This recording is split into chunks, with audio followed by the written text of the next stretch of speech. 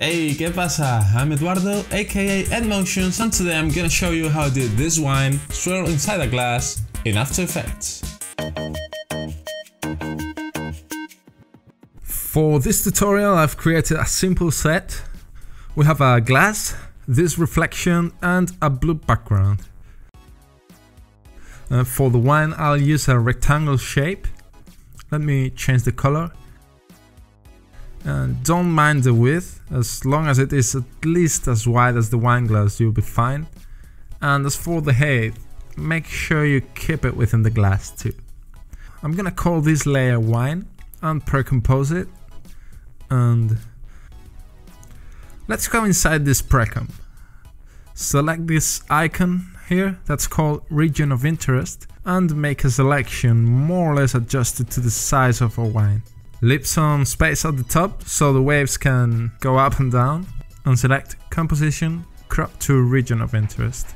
And now the composition has the size of our selection. Add a wave warp effect to the wine layer. About the numbers, I've already done this before so I know that the numbers that work for me or for my shape and composition are 20 for the height and 180 for the width uh, these numbers might not work for you if you're using much bigger or smaller compositions. Alright, let's give the wave speed a value of 2 points. Now we have this that kind of look like a river flowing. And we're going to go back to our main comp and change the order of the layers so the wine sits at the bottom of the composition.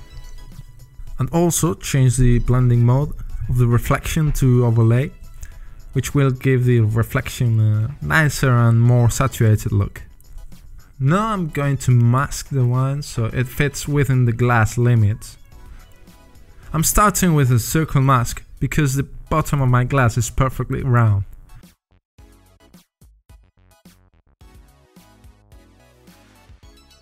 And I'm gonna add a couple of vertices to the mask.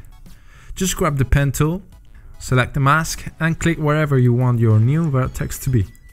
Now I'm gonna follow the shape of the glass.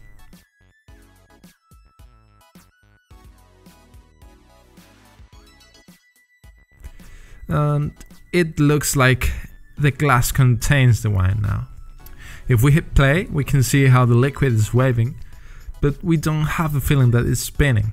That's because we only see it going in one direction.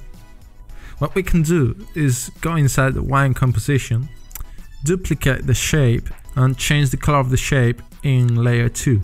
Since the surface is going to have a thinner layer of liquid, more light will be able to pass through, so give it a lighter color. And I'm going to invert the direction of the web just by adding 180 degrees to the current angle.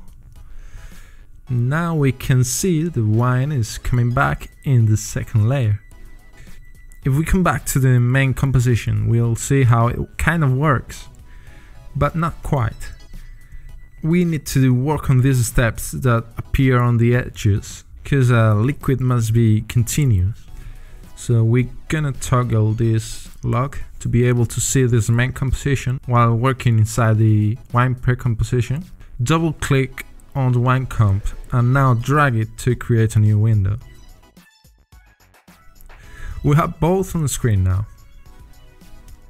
Just change the phase of one of the layers. Change it until you match the ends of both layers.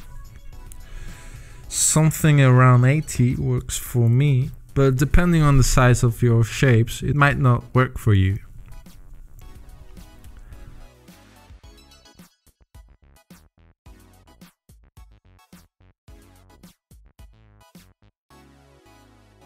Alright, this is much better, but it's still not perfect.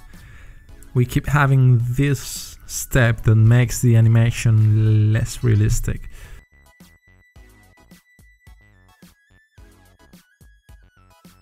Let's increase the bottom layer's wave width just a little bit more.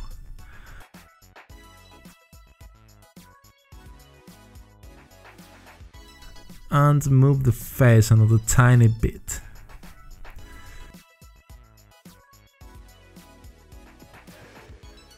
Alright, so we have it. I'm gonna close this and go back to the main composition, toggle the lock off, and that's it. We have a wine spinning inside the glass. But why is this wine spinning if the glass is completely static? I'm going to show you a really simple and really cool feature of Duik. First, grab the reflection and the wine precomp and parent them to the glass layer. And now when I move the glass, they move with it. And well, Duik is free, but you can also donate whatever you think it's worth for you. What I tend to do is I try plugins for free and if I find myself using it frequently, I just pay for it. I love using Duik's Swing because I hate copying and pasting keyframes to infinity and beyond. So right click on the glass position and separate dimensions, select the X position and hit swing. Now we have to simply tell it how many pixels we want the object to oscillate from the axis and how many times per second. I'm giving it 15 pixels and 2 times a second because that's the wave's frequency too and that's it. We have a little excuse for the wine to spin inside this glass. Thanks a lot for watching. I really really hope you learned something today. And if you think you did, please hit subscribe, hit the bell. Goodbye.